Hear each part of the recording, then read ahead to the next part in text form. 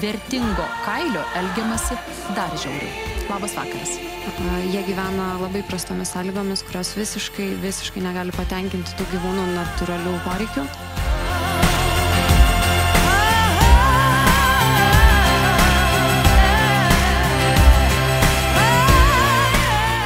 Jūsų žiniomis baisiausi dalykai vyksta švelnikailių gyvūnėlių žvėrelių fermose. Mano nuomonė, tai yra pačios žiauriausios vietos, e, bent jau mūsų šalyje.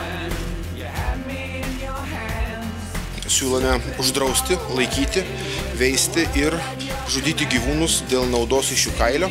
Mūsų organizacija Tušti narvai jau keturis metus dirba tam, kad būtų sustabdytas beprasmis gyvūnų žudimas dėl jų kailio. Ar mes galime taip elgtis su gyva būtybė?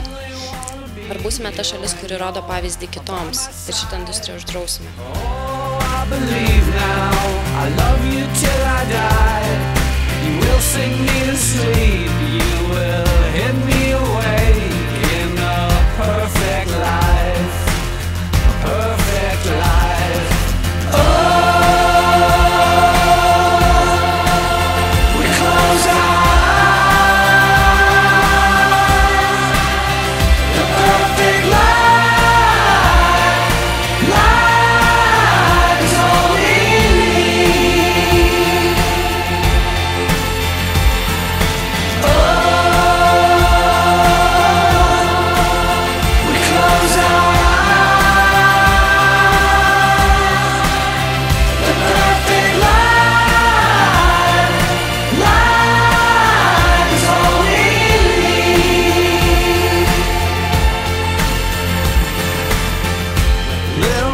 Mikey steps everywhere Knives in his pockets and bullets in his hair He has nothing to live for, nothing left to say Šiais metais dėl gyvūnų nuveikėme daugiau negu bet kuriais kitais.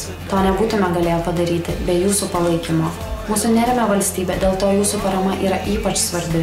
Šiuo metu organizacijai kas mėnesį periodiniais pavedimais aukoja 40 žmonių. Jeigu šis skaičius išauktų, galėtume padaryti dar daugiau. Kviečiame ir jūs prisijungti prie organizacijos rėmimo. Tai padaryti labai paprasta ir užtruks apie 3 minutės. Kaip tai padaryti, paaiškiname tinklalapyje. Galėsite pasirinkti sumą, kuri jums būtų nepajaučiama, tačiau mums padėtų dar daugiau padaryti dėl gyvūnų. Ačiū, kad padedate mums padėti gyvūnams.